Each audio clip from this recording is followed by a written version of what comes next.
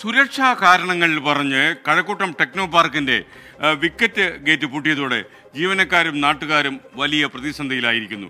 Wicket gate പൂട്ടിയതിനെതിരെ കഴിഞ്ഞ ഒരു മാസമായി നടക്കുന്ന പ്രതിഷേധങ്ങൾക്ക് പരിഹാരമുണ്ടാകുമെന്ന ചോദ്യത്തിനാണ് ഇന്ന് നമ്മൾ ഉത്തരം തേടുന്നത്. കഴിഞ്ഞ ഒരു മാസത്തോളമായി അടഞ്ഞു കിടക്കുകയാണ് ടെക്നോ പാർക്കിന്റെ ഈ ഗേറ്റ്. മറ്റ് പ്രധാന ഗേറ്റുകളുണ്ടെങ്കിലും ജീവനക്കാരുൾപ്പെടെ പുറത്തേക്ക് വരുന്നതിനു വേണ്ടി ഉപയോഗിക്കുന്ന ഗേറ്റാണിത്. നാട്ടുകാരുൾപ്പെടെ പലതവണ പ്രതിഷേധം നടത്തിയിട്ടും ഈ ഗേറ്റ് തുറക്കുന്നതിൽ കാര്യമായി മാറ്റമൊന്നും ഉണ്ടായിട്ടില്ല. കളവശ്ശേരി സ്ഫോടനത്തെ തുടർന്നാണ് ടെക്നോ പാർക്കിലേക്കുള്ള വിക്കറ്റ് ഗേറ്റ് പൂട്ടിയത്.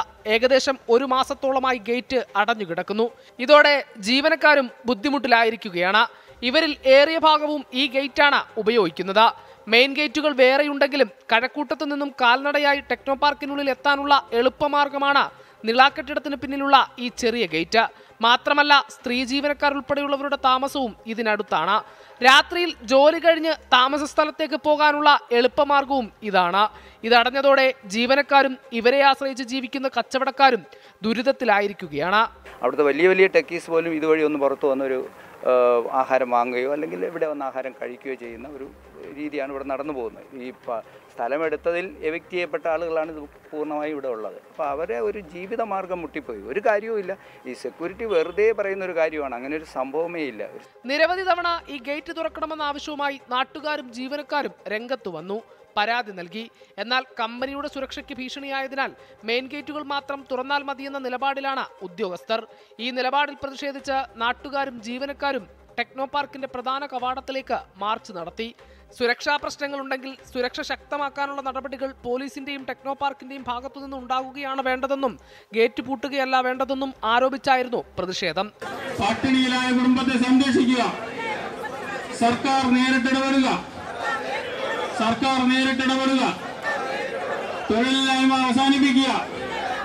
മുള്ളുള്ള പ്രദേശത്തെ ഗേറ്റ് തുറക്കണമെന്നാവശ്യപ്പെട്ടുകൊണ്ട് ജീവനക്കാരുൾപ്പെടെയുള്ളവർ പ്രതിഷേധം നടത്തി. സുരക്ഷാ കാരണം പറഞ്ഞ ഗേറ്റ് തുറക്കില്ലെന്ന വാശിയിലാണ് ഉദ്യോഗസ്ഥർ.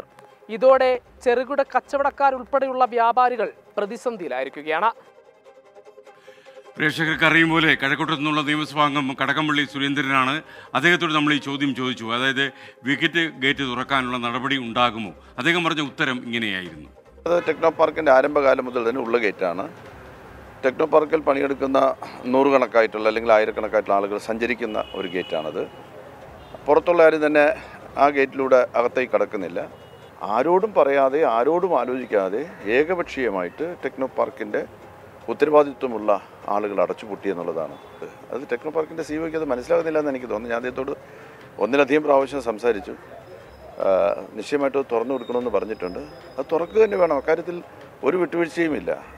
തുറക്കുക സിഒക്ക് അത് ബോധ്യമാവുമെന്നാണ് എന്റെ വിശ്വാസം. കാരണം ഞാൻ അദ്ദേഹത്തോട് സംസാരിച്ചു. എനിക്ക് തോന്നുന്നു പോസിറ്റീവായിട്ട് അദ്ദേഹം ചിന്തിക്കുന്നുണ്ടെന്നാണ് എനിക്ക് തോന്നുന്നത്.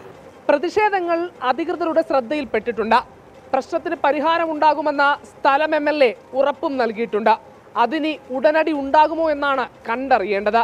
Ranjith ഫ്രാൻസിസിനൊപ്പം Harikrishnan twenty four Thiruvananthapuram. Kadakampally Surendran M L A ഇക്കാര്യത്തിൽ ഒരു ഫോളോ അപ്പ് നടത്തണം. അദ്ദേഹം സിഇഒയുമായി വീണ്ടും ബന്ധപ്പെട്ട് ഈ വിക്കറ്റ് ഗേറ്റ് തുറന്നു കൊടുക്കണമെന്നാണ് ഞങ്ങൾക്ക് പറയാനുള്ളത്. കടകംപള്ളി ഒരു കാര്യം ഏറ്റാൽ അദ്ദേഹം അത് നടപ്പിലാക്കാൻ ഒരുപാട് ശ്രമം നടത്തുന്ന ആളാണ് വ്യക്തിപരമായിട്ട്. ലോകത്തെവിടെയായാലും ഏത് സമയത്തും ട്വന്റി ഫോർ വാർത്തകളും ഓഗ്മെന്റഡ് റിയാലിറ്റി പാക്കേജുകളും എക്സ്പ്ലെയിനറുകളും വിശദമായി കാണാൻ ഞങ്ങളുടെ യൂട്യൂബ് ചാനൽ നിങ്ങൾക്ക് സബ്സ്ക്രൈബ് ചെയ്യാം.